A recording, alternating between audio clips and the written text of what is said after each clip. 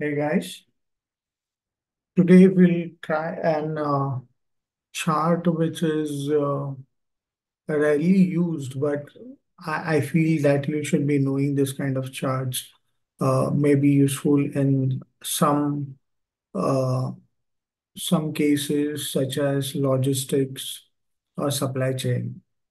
Yeah. Uh, today we'll be talking about the radar charts. Now, where do we use the radar charts? It's uh, I haven't used it in sales at any point of time, but uh, usually radar charts are used to evaluate different choices based on multiple variables.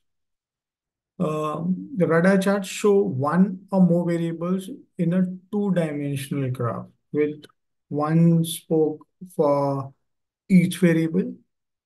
For example, you could evaluate the quality, price, flexibility, and response time of three different suppliers. So uh, it's it's a bit complicated and a bit uh, difficult to understand, but yes, it is mostly the, the thing that you need to understand. It's mostly used to understand two-dimensional quantitative as, well as qualitative aspects of a particular variable or multiple variables in one chart. Let's try to see how this could be created in uh,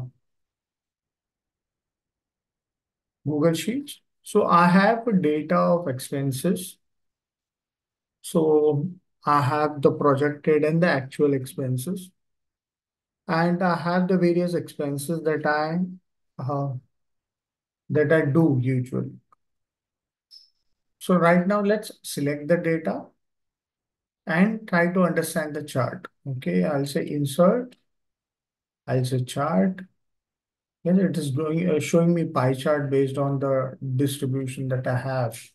Yeah, on the projected expenses and actual expenses. But I do not want this. I want a radar chart. So I go here in others and I'll select radar chart. Now you really need to understand first how this chart looks like and what does it denotes. Now it radar chart always will have zero in the center yeah. And it will slowly drift outside. So your points keep on drifting outside. So it will show you actual from here, the projected to actual. For example, your rent was 700, which was projected and the actual was 700. So that's why the point is getting collided here. Now, let's understand for something which is deviating for depth, wherein the projected or 200, but it overshooted 250. Yeah, so you, you see here the blue line which was product projected was 200 and it's just 250. Yeah, so it gives you an idea in a two-dimensional way how your variables are reacting, yeah, towards your quantitative uh, values. Yeah, let's try one more uh, one more graph uh, related to school rankings. Suppose I have uh, various schools, yeah, and I have the number of students, acceptance rate, and the rate class size. Yeah, I want to plot it and I see how it looks like. So I'll select this.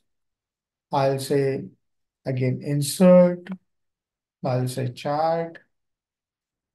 It is showing me three different charts based on the three columns that you have, but I want to know the relevance between each other. So that's why I'll have the radar chart. So this is how it looks like. Yes. Now it is showing me a great amount of details how the Sunset School is doing in terms of uh, Jackson Academy or uh, or, or the Somerville. Yeah.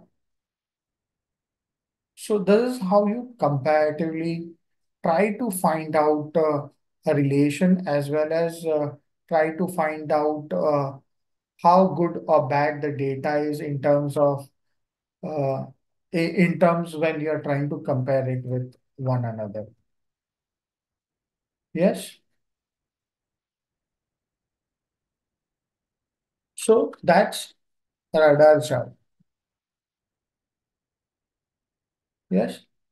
So the only thing that you need to remember about it is uh, the chart displays multivariant data stacked at an axis with the same central point. So that's zero at every point of time. You see both of the Uh, graphs, we have zero as its central point. Yeah. And it is mostly used to have three or more quantitative variables for comparison. So we are trying to compare all the variables with each other. Yeah. Now it looks like somehow like a spider web, which is sometimes it is called as spider chart as well. Yeah. So you can call it as radar or spider chart. So let us see if we have something, some changes in the edit section, the customized section, apart from other.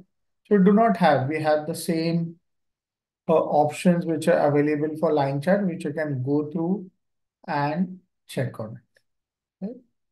Thank you. I hope you may uh, come across a situation where you can use the radar chart, yeah, while comparing variables. Thank you so much.